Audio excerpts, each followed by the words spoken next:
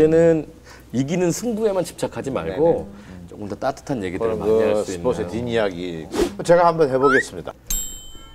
아, 형님 MC 내가 해야죠. 바로 내가. 해야지. 네. 얘기 들었는데. 같이 제가 아, 아니 아니 아니 뭐 그건 제가 한번 보내보이라고요. 아이디어 고맙습니다.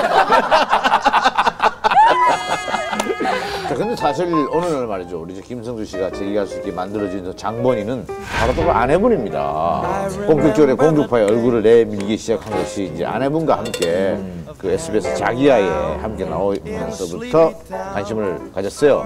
2000년에 입사했고 2001년에 이별 통보까지는 아니고 이제 좀 시간을 두자. 분명히 지상파에 입사를 하면 결혼을 하자고 얘기를 했는데 얘기를 어, 안 하는. 거예요.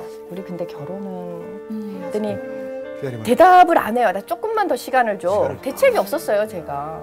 저도 나이가 그때는 이제 스물아홉, 서른 넘었는데 이 사람만 보고 8년, 9년을 있었는데 미쳤어. 그 뒤에 약간 아, 눈물도 안 나오더라고요.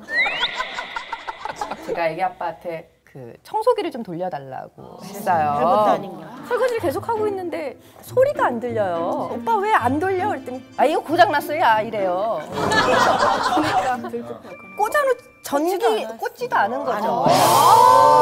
전자제품. 무서운 줄 알았어.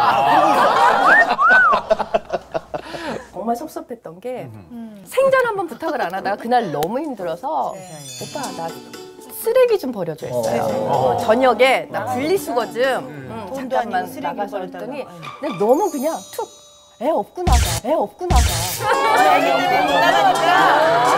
제일 섭섭한 건 번 이사하는 동안 한 번도 없었다는 거예요, 저 사람은. 지금 제가 이사 다섯 번 중에 두 번은 다 임신 때였어요. 정말 이사 딱 다 해놓고 정말 컴퓨터, 모니터, 연결 다 본체 해놓고. 연결 다 해놓으면 그제서야 어이 이 집이야 이러면서 들어와요. 네.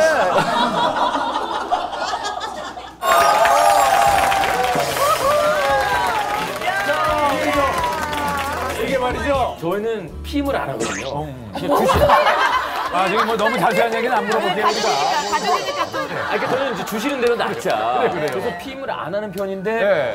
4년 동안 애가 안 생겼다는 얘기는 저한테 굉장히 자괴감이 느껴지는 겁니다. 이건 뭐, 그러니까 이게 안 피하고 했는데도 네. 이게 애가 안 생기면 남자로서의 능력이 다 떨어진 거 아닌가? 내가 살아있구나. 내가 살아있구나. 남자로서의 에? 이게 내가 능력이 있구나. 네, 출발할게. 능력자구나. 뭐 40이 넘은 나이에 너뚱이 세계 출산은 남자로서의 어떤 뭐 파워의 상징이죠. 아이들이 약간 복의 상징인 경우가 많이 있습니다. 그러니까 아이들이 태어날 때마다 늘 이렇게 선물을 가져다 줬어요. 그러니까 민국이가 태어날 때가 2004년 10월인데 제가 그해 연말 시상식에서 처음으로 이제 트로피를 받아봤어요. 그러니까 TV 특별상을 제가 아나운서로서 받은 거죠. 그리고 민유리는 2009년 3월 7일에 태어났는데 어 그때가 이제 명랑이로 딱 끝나고 제가 어, 좌절하고 있을 때 화성인 바이러스를 맞게 되고 어, 슈퍼스타 K를 하게 되고 그래서 제가 이제 다시 막 살아나게 되는 상황이고 그리고 민주는 올해 1월 7일에 네네. 태어났거든요. 네. 아빠 어디가라는 프로그램이 1월 6일에 첫 방송이 됐어요. 야. 그래서 1월 7일에 민지도 태어나고 어, 그 프로그램이 반응이 괜찮다. 어허. 넷째도 나실 계획이 있으신가요? 넷째도 뭐 여전히 피임을 안 하고 있으니까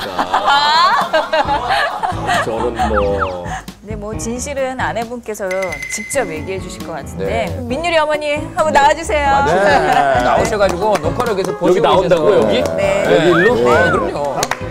다리를 안녕하세요. 이거, 이거 길어지잖아 이러면 경경님 싫어하신단 말이야. 자 오늘 구경 오셨는데 즉석에서 그냥 좀 초대를 했습니다. 네. 쭉 녹화 보셨는데 아, 보시다가 좀 우크우크 하셨어요? 네. 이렇게 어렵게 돈 버는 줄 몰랐어요.